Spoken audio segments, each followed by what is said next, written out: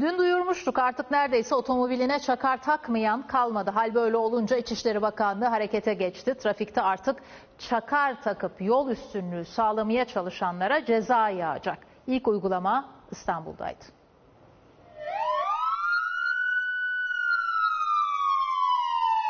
Sanki İstanbul'un yarısı devlet görevlisi.